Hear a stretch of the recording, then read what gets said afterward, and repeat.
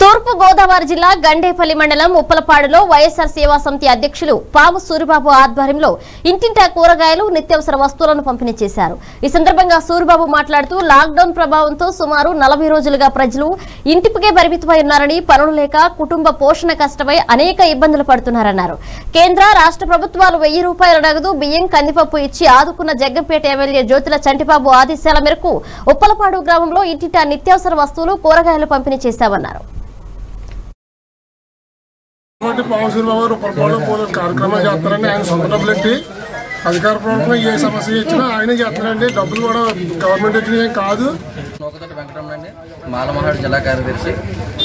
ఈ గత తొమ్మిది సంవత్సరాల నుంచి వైఎస్ఆర్ సేవ సమితి పేరు మీద పాము సూరిబాబు గారు అనేక కార్యక్రమాలు చేయడం అభినంద అభినందనీయమండి. ఈరోజు లాక్డౌన్ రెండు నెలలుగా వస్తుంది ఈ సందర్భంగా అనేక మందికి అనేక రూపాలుగా ఆయన ఆర్థిక సాయం సొంత ఖర్చులతో మాత్రం ఆయన చేస్తూ ఉన్నారు. ఇలాంటి కార్యక్రమాలు మరెన్నో చేయాలని మనస్ఫూర్తిగా కోరుకుంటూ సెలవు తీసుకుంటాం వైఎస్ఆర్ సేవా సమితి అధ్యక్షునండి. ప్రపంచవ్యాప్తంగా కరోనా మహమ్మారి బారిన పడి ఎంతోమంది నిరుపేదలు ఉపాధి కోల్పోయి ఎన్నో కష్టాలు పడుతున్నారు.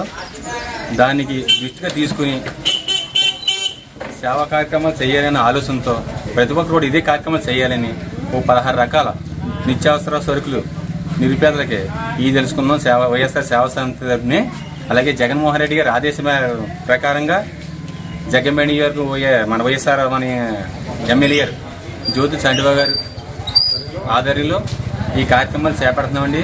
ఇలాగే ప్రతి కార్యకర్త కూడా ఈ సేవా కార్యక్రమంలో పాల్గొని ఎన్నో కార్యక్రమం ముందుకెళ్ళాలని మనస్ఫూర్తిగా కోరుకుంటున్నామండి.